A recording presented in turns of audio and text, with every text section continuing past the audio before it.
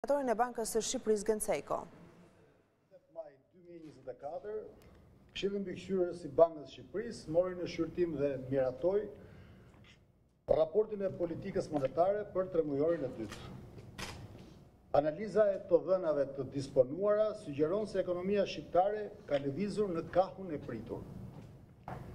Aktiviteti ekonomik, punësimi dhe pagat kanë vijuar të rriten gjatë dy tremujorëve të fundit, inflacioni ka vijuar të bjerë, tregjet financiare kanë qenë relativisht të qeta dhe kreditimi ka ardhur në rritje progresive.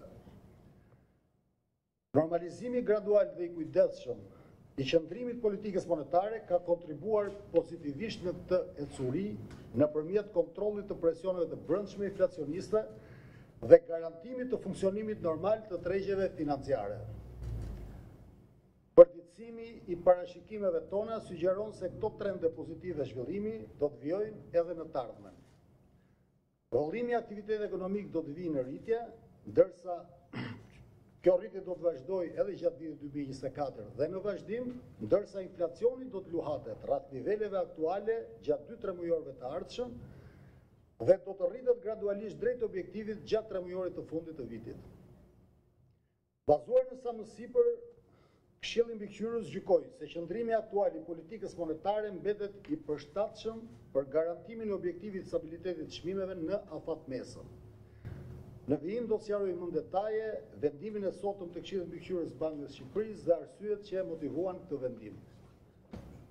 Inflacioni i çmimeve të konsumit shënoi një rënie relativisht të ndjeshme dhe më të shpejtë se pritjet tona gjatë tre muajve të parë të vitit.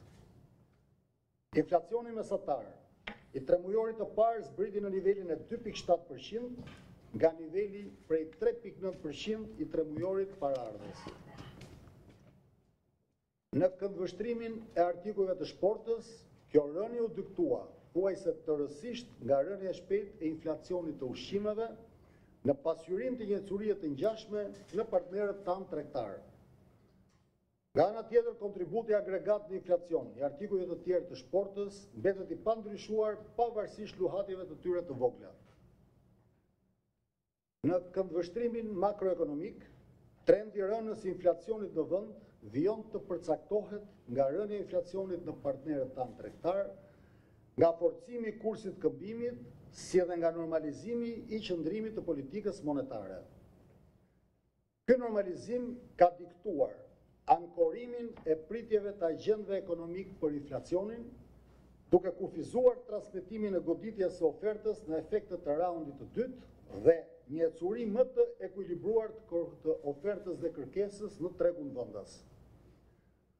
Pavarësisht këtij trendi afatmesëm, rënia e shpejtë e inflacionit në tremujorin e parë duket se pasqyron një goditje tjetër të ofertës së huaj, këtë herë me ndikim rënës në çmimet e ushqimeve.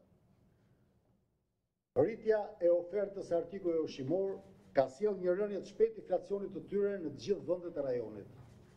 Megjithatë, efekti i kësaj goditje në Shqipëri ishte më i ndjeshëm si pasojë e peshës së lartë që artikujt ushqimorë kanë në shportën e konsumit. Analizat tona sugjerojnë se çmimet e ushqimeve në vend do të vijojnë të jenë subjekt i kësaj goditje edhe për disa muaj, por efekti i saj pritet të mbetet gjithsesi kalimtar. Nga ana tjetër, presionet e brendshme inflacioniste, ndonëse në rënie, mbeten relativisht të larta. Këto presione ushqehen nga kërkesa solide për mallra e shërbime, kërkesë e cila pasqyrohet në rritje të shpejtë të punësimit, të pagave, të kostove të prodhimit në sektorin privat.